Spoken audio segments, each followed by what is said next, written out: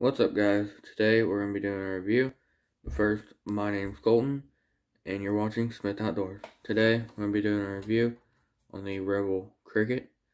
It's a great um, multiple species bait. You can catch uh, all kinds of species. It dives really good with that big bill. Uh, it's just a great, great bait. It is top water, but um,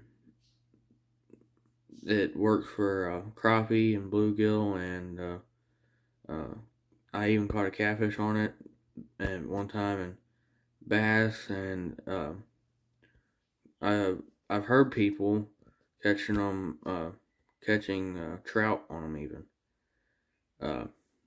Just an all good around bait. Alrighty, guys. Now we're at the pond. You can see behind me.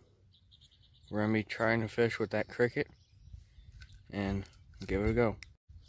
Alrighty guys, like I said, we're gonna be fishing the, the Rebel Cricket. The rod I'm gonna be using is a Lew's Speed Stick and Speed Spin. If you haven't watched already, go watch my video that I did earlier in the week on this rod and reel. I did an in-depth review on it. Let's give her a go. Alright guys, it looks like we've got the first fish of the day. I don't think he's a big one.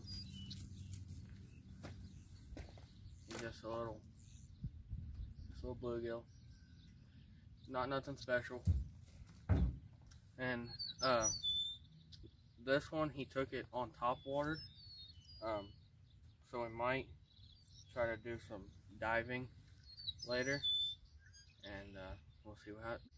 Alrighty guys, I think we've got another one. He seems like he might be a little bit better. Right?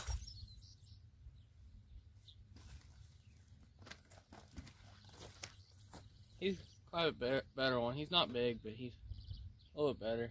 Look how I caught him. Caught him right on the top of the head. Well, guys, that's going to do it for this video. Thanks for watching. If you liked the video, hit the like button and subscribe if you're not already. Thanks. Bye.